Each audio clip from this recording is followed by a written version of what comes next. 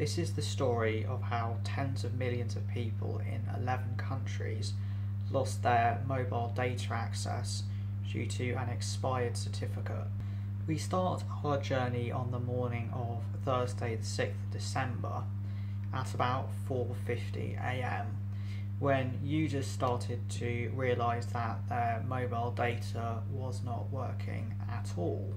When I checked my O2 device at about 9 am, so several hours after the problems first started to happen, 4G attach requests were rejected due to network failure and 3G attach requests due to congestion.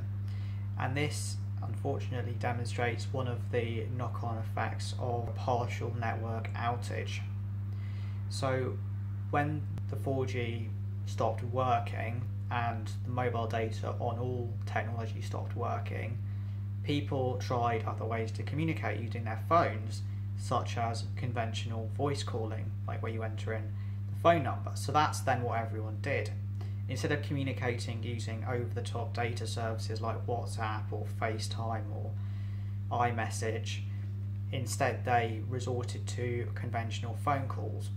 And the 2G and 3G networks are not really dimensioned anymore for dealing with that amount of traffic because typically the 2G and 3G networks are there for legacy devices that don't support 4G in terms of data, and then for calls for devices that don't support calling over 4G.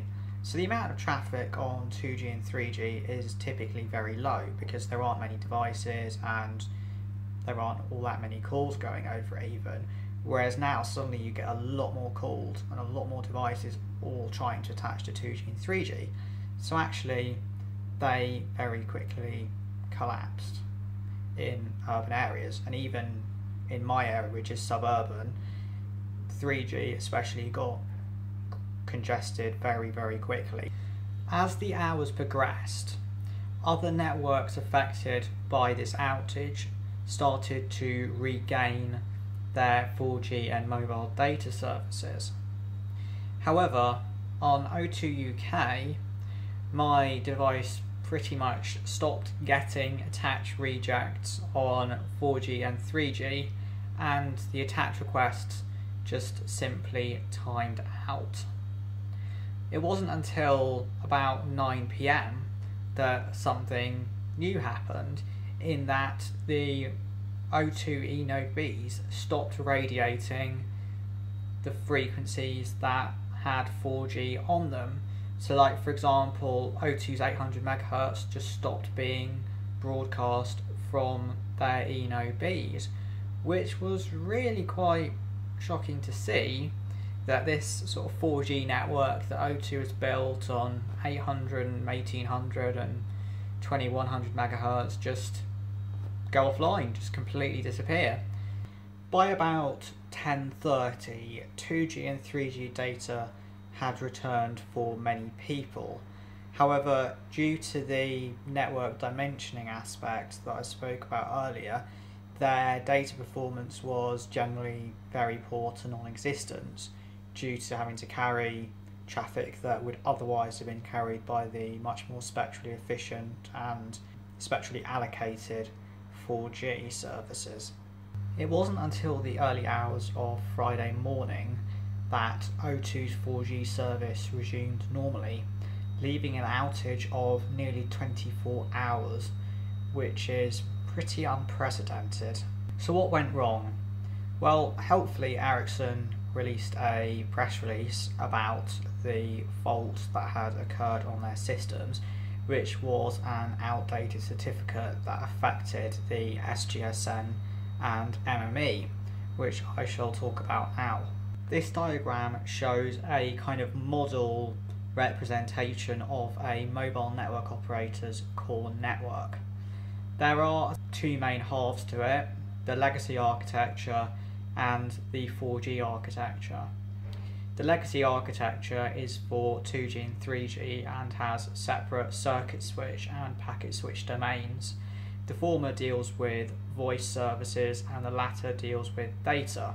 There are also separate traffic feeds within each of these for user traffic as well as signaling traffic, which are designated in different colours here.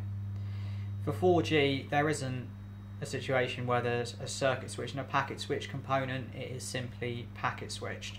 And in that case, the core network components get defined as the evolved packet core. In the circuit switch component, there are the media gateways which handle the routing and call traffic across the core network between the mast side and then the conventional phone network. Then there are the mobile switching centres which handle the signalling traffic for calls that start, end, and maintain phone calls on the mobile network. Now let's move on to the packet switched domain of our legacy network architecture, which contains the first cause of failure of this outage. So within this packet switch domain, there's the gateway GPRS support nodes. Now these interface the core network with the outside world of other packet data networks, i.e. the internet, and in between the gateway GPRS support nodes and the mast side of things is the serving gateway support node or SGSN. Now this doesn't just interface the user traffic and the signaling traffic between the mast side and the gateway GPRS support nodes.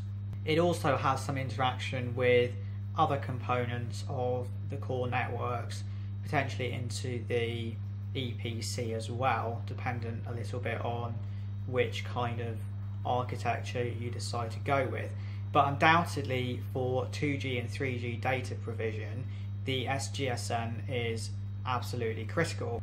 Although, as you can see from this diagram, voice would still work because that's handled by the circuit switch side of things. When it comes to 4G and the evolved packet core, the packet gateway does a fairly similar role to the gateway GPRS support node. So it interfaces between the core network and packet data networks on the outside world. It also communicates with IMS systems as well. In between that packet gateway and the outside world and the mast is the serving gateway, which in some ways is fairly similar to the serving gateway support node. So it sits between the packet handling, the packet data network handling gateway router, and then the mast side of things. However, it stayed working in this case. What didn't was the mobility management entity.